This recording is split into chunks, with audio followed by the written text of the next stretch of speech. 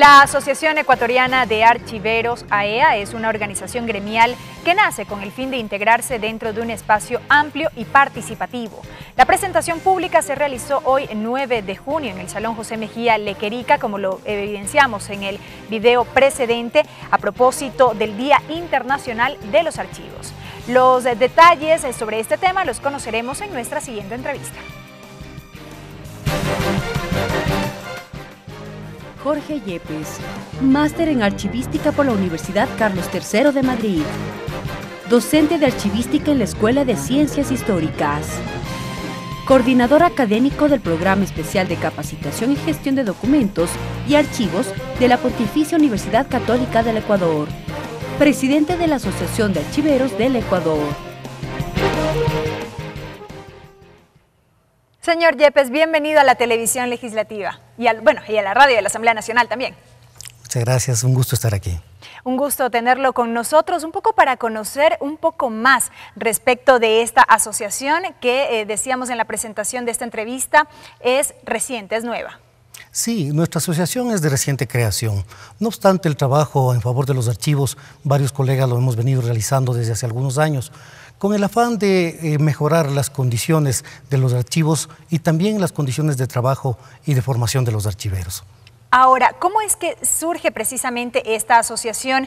Eh, me llama la atención que, sea nueva, que sea reciente, tomando en, cuenta que esta es una actividad que viene desde hace muchísimo tiempo. Sí, seguro. El trabajo en los archivos es una actividad que se realiza desde que existe la escritura prácticamente. Claro que sí. Sí, pero en nuestro país no ha tenido un desarrollo significativo. Sin embargo, han existido archivos desde eh, la formación de la República y desde antes de eso en los archivos coloniales, justamente. En nuestro caso, eh, no ha existido una organización gremial que haya facilitado la integración y la participación de los archiveros. Em, un grupo de colegas interesados siempre en el desarrollo de nuestra profesión, tomamos la decisión de crearla y hemos hecho un primer eh, acercamiento y encuentro justamente que la Asamblea Nacional ha tenido la gentileza de facilitarnos este hermoso espacio que es el antiguo Salón del, del Senado y que ahora es la Sala José Mejía Lequerica pues justamente el día de hoy, aprovechando que a nivel mundial se festeja el Día Internacional de los Archivos, nosotros aprovechamos para realizar este primer encuentro gremial y que ha sido, yo diría que bastante exitoso. Que es como una presentación ya formal de esta asociación. Exactamente, ha sido la presentación de nuestra organización ante la sociedad de archiveros y ante la sociedad ecuatoriana. El, nosotros hicimos una convocatoria en inicio con una expectativa un poquito timorata, pero resultó que tuvimos alrededor de 200 inscritos, eh, asistentes de, 200, de 10 eh, provincias de nuestro país. Y eso nos ha motivado mucho y aspiramos que en los próximos eventos que realicemos también contar con una asistencia masiva de todas estas personas que trabajan de manera incansable día a día en los archivos y que están siempre necesitadas de un espacio de agrupación gremial que es el que nosotros le estamos ofreciendo en este momento. ¿En qué estado se encuentra al momento la constitución de esta organización? los documentos van a ser presentados ante el Ministerio de Cultura del Ecuador, justamente que es el ministerio al cual le corresponde dar... Em, la autorización legal de funcionamiento. En este momento somos una organización de hecho, pero hemos eh, realizado ya nuestra última asamblea constitutiva y tenemos los estatutos listos para que ingresen al ministerio. Ahora bien, centrémonos en el evento que tuvo lugar el día de hoy, el poder de los documentos y los archivos. Esta ha sido la temática que se ha manejado.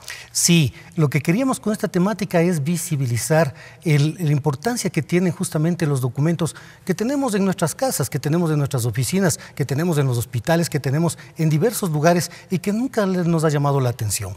Eh, los archivos eh, no han sido precisamente unas unidades de información valoradas adecuadamente, siendo que en estas se conserva todas las evidencias de la administración pública y privada. Se conserva el patrimonio cultural, se conserva el patrimonio documental de nuestro país. Y sin embargo, no han merecido la atención suficiente ni de la ciudadanía y hasta hace poco tiempo tampoco de las autoridades. Peor cuando hoy nos enfrentamos a una sociedad eh, totalmente tecnologizada, por así llamarla. Bueno, más bien eso para nosotros es un espacio de oportunidad, porque nosotros hemos trabajado con documentos en formatos, en soportes físicos, en lo que se les llama técnicamente en soportes analógicos, pero ahora estamos en un proceso de transición al manejo también de los documentos digitales. Ahora buena parte de los documentos de la administración pública nacen digitales. Sin embargo, tampoco podemos descuidar todo aquel bagaje documental que tenemos de siglos y que están atesorados en nuestros archivos justamente. Que forman parte de la historia de nuestro país. Son parte de la historia de nuestro país y también de la humanidad. Recordemos que nuestro país y nuestra ciudad, en, particular Quito, fue declarada hace poco más de 30 años Patrimonio Cultural de la Humanidad, justamente en, eh, valoración de la gran cantidad de documentos de tipo histórico que permanecían en nuestros eh, archivos históricos. ¿no? Si bien todo esto eh, eh, resulta muy importante, muy relevante, ¿por qué no se le ha dado precisamente esta relevancia que merece en este caso? Generalmente las personas que trabajan con documentos, eh, una vez que el documento le ha prestado utilidad, lo olvida, pero se da cuenta de la importancia que tenía cuando a día seguido necesita volver a tomar ese documento, volver a recurrir a esa información para cualquier actividad de su gestión personal o en una oficina y se da cuenta que no tiene el documento. Ahí es cuando empezamos a valorar eh, los, archivos y eh, empezamos a valorar la importancia de organizar técnicamente esta documentación, esta información.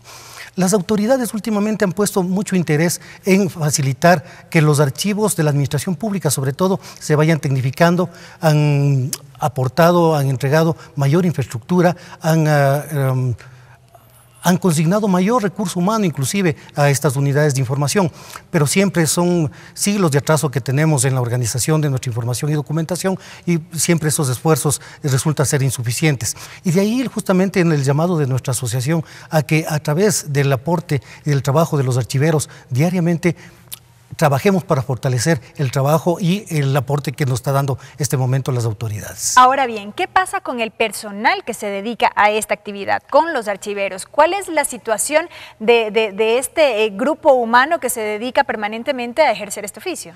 Primero son gente con mucha mística, con mucho cariño por su trabajo y están ahí pese a las adversidades, pese a los, los pocos recursos que a veces se cuenta para, para nuestra labor cotidiana pese inclusive a, un, a una poca eh, valoración de la sociedad, del trabajo que realizamos, están ahí día a día.